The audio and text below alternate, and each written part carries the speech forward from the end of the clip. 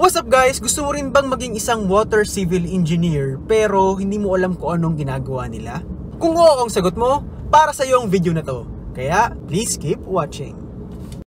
What's up guys? We're back at it again. We're back at it again. Isa na naman pong araw ang ating bubunuin. So ngayon guys, guys, papunta tayo ngayon guys sa isang asphalt restoration project. Patapos na sila ngayon. So i-inspect natin kung tama yung ginawa nila. Kung tama na yun, di tapos na. Okay, update ko kayo mamaya. Okay? Bye. So guys, late na naman yung contractor. Ganun? Ba't late ang mga tao? So ngayon, pupuntahan ko na lang muna yung sound wall project namin. Hopefully hindi sila late dun, okay? Nainis na ako ha. Joke lang. Okay, so kung makikita nyo sa right side, yan yung walls guys. Walls guys. Ah, tinapunan muna nila ng trapal. Alam nyo reason pa nila tinabunan ng trapal dyan? To avoid vandalism. Mahilig kasi magbandal, maglagay ng mga graffiti yung mga tao dito. Okay, wala pa ganong progress but update ko lang kayo pag may pag malapit na tumatapos, okay? Guys, may gusto lang i-share sa inyo ah. Itong example ng isang napaka pangit na daan. Hindi pangit.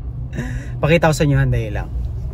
So guys, kung makikita nyo ngayon, ang daming patches sa daan, ang daming alligator cracks. Alligator cracks, yun yung cracks sa daan na parang skin ng alligator. So, uneven ang daan, maraming mga pothole.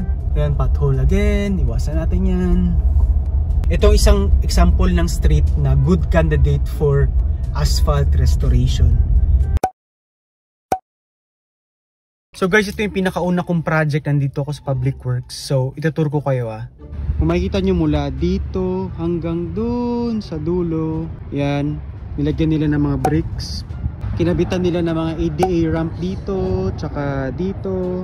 Also, walkway, nilagyan nila, yan, palibot dun dapat tong puno na to tatanggalin ito rin. But nagawa nila ng paraan so hindi na nila tinanggal? Yun lang share ko lang. So guys update lang ha ditong street improvement project namin. Inaayos na nila yung north side. So nagbubuhos sila ngayon. Ayan, nagbubuhos sila guys. So kung makikita nyo yung truck. Marami nagtatanong, marami rin bang opportunities pag water engineering ang tinake mo na field of civil engineering? So ang sagot dyan is yes. Alam nyo ba guys na 98% ng tubig sa mundo ay nasa dagat or nasa ocean? Ocean? ocean? Ocean? Ocean. Then sa 2% na natitirang tubig na fresh water, 1.6% niyan ay nakakulong o nasa loob ng ng ice, yung sa mga Antarctic Ocean, yung mga nasa iceberg. Yung natitirang 0.4%, yun lang yung ginagamit natin ngayon. So yung mga nasa ilalim ng lupa, yung mga nasa reservoir, 0.4% lang accessible sa ating mga tao na tubig. Kung gusto mo magtrabaho as water civil engineer, maraming field na pwede mong pasukan. Pwede ka magtrabaho sa water utilities, pwede ring river engineering, Pwede rin coastal development. Pwede ka ring water resource management or pwede ring flood risk management. So, ang isa sa pinaka-importanteng trabaho ng isang water engineer is pag nasa water resource management siya. Pag nasa water resource management na field ka, sila yung nagde-design ng mga structures para ma-maximize yung usage ng mga potable na water ano bang sample ng mga structures na nagsusstore ng mga potable water. For example, dam, reservoir, yan mga example yan siya. Isa pang importanteng field ng water engineering is yung flood risk management.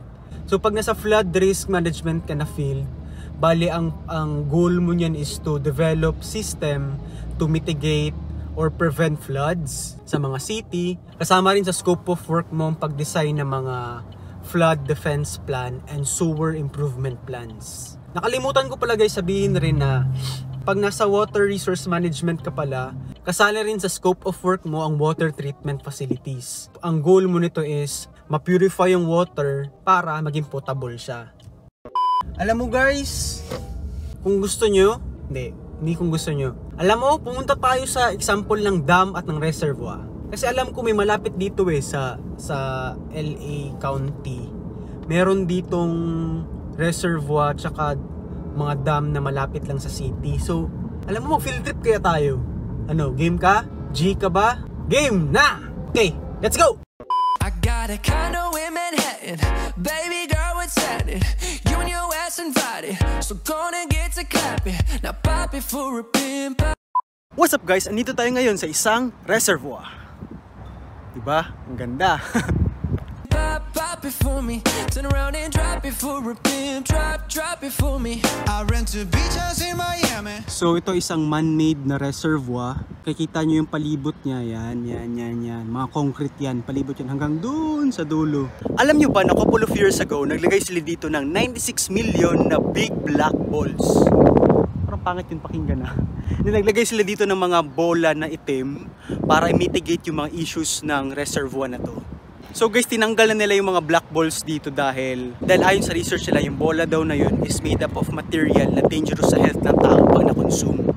So since tong water na nandito is kinukonsume ng mga tao sa community, so pinatanggal na lang nila yung mga bola na yun. But cool sana yun kung nakita natin ngayon eh. Pero ito, puno to ng black na bola dati. Pero ngayon, wala na.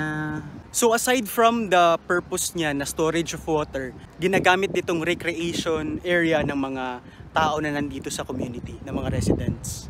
Yan, makikita nyo may mga aso, ay may mga tao pala.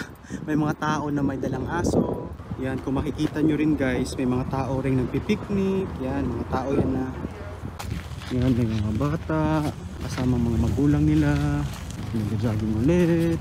君の虜になってしまえ bakit Guys, asa na tayo? uh, papunta dapat tayo sa dam ngayon Pero Putik Naligaw na ako Manang Umuta na tabi uh, Excuse me Do you know where's the Hollywood Dam is? The what? Hal the dam? Hollywood Dam? Yeah, Reservoir? do You keep going and you will see there's a fork. You're going to go on the left, and you're going to see a, a Hollywood Reservoir, Got and it. you're going to go up and up and up. All right, thank you. You're welcome. Turn left on Wide Lake Drive. O, turn left daw. Hindi ko pa naman kasama yung kapatid ko. Siya pa naman yung mas magaling na navigator kaysa sa akin. Kasi ako, sus, kung walang Waze o walang Google Map, Diyos ko na, wala na siguro ako. Uphill kasi to guys, then ang daan dito sobrang sikip. So, timutakbo natin 10, 11 miles, 10 miles per hour lang. So guys, ito pala, ito yung mga area ng mga mayayaman. Kahit uphill siya, oh, dito talaga sila nag-build. Lupa pa lang siguro dito, million na ang cost ba? May for sale na bahay. Sige lang, sa future, bibili natin yan. Itong pinasok ko. ah, asa naman ta? Nasa forest na tayo guys, visit. ah, tabang. Asa naman ta guys? Oy, good job! Good job, boy. We're here at the Hollywood Reservoir. Reservoir? Reservoir? Reservoir. Reservoir? Sakyan nila dito, tignan nyo. Basic. Napagkaguot na lang, Jud. Ah, ah, ah. Oh, naman tong sakyan niya. Oh, nakalambo pa siya, oh. Lamborghini.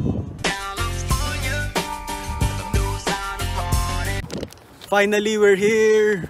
After ilang kalye na pinasukan natin, nakarating na talaga tayo dito. Wow! Jump in the Cadillac. Girl, let's put some miles on it. Anything you want. Just to put a smile on you. You deserve it. So hindi ko alam guys, malapit lang pala tayo sa Hollywood. Malamang Hollywood Reservoir. ito pala oh, Hollywood sign. Yan, kung makita nyo. Yan yan. So guys, ito yung reservoir nila. Tawag dito is Hollywood Reservoir. Kung makikita nyo, same rin ang purpose niya. For storage of water and also pwede rin siyang recreation area for the residents na within the area. So kung dito makikita nyo yung reservoir, dito naman sa kabila, ah, lakad tayong konti, tabok ta. Dito, ito naman yung dam. Yung dam mismo. Papakita ko sa inyo. Di ba yun yung reservoir? Ito mismo kinakatayuan natin. Ito, ito, ito, kinakatayuan natin. Ito yung dam mismo. Dam. So ang tawag sa dam na to is Mulholland Dam. So yun yung designer ng dam na to. Dam you. Yan, kung mabasa nyo, Hollywood Reservoir. Capacity 2,500,000 Hindi, 2 billion pala gal. Fun fact lang guys, alam nyo ba itong dam na to is before itong area dito, itong area na nakikita nyo dito, itong mga puno dito, itong mga lupa, yan, wala yan dati. Isa siyang buong, yan siya, yan, top lang yan itong dam na to, top area lang yan. Tapos yan, makita nyo yan yung top layer ng dam. Tapos dati before, dati before, dati concrete yan lahat hanggang doon sa dulo. Tapos ngayon, tinabunan nila ng lupa. So nangyari kaya nila tinambakan ng lupa at ng mga tinaniman ng mga puno dahil yung designer nito na dam is nagkaroon ng controversy. Hindi controversy. Kaso ata. Kasi yung dam na dinesign niya before is gumuho. Gumuho. Actually, 450 katao ang namatay dahil sa yung dam niya na yun na nag-collapse. So yung mga tao dito sa Hollywood area natakot. Sabi nila, uy baka mamatay kami dito dahil sa dam na yan. Dam, dam, dam na yan.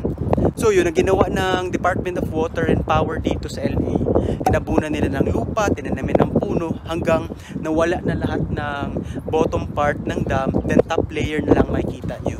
Another fact lang pala guys, ang dam na isang art gravity dam.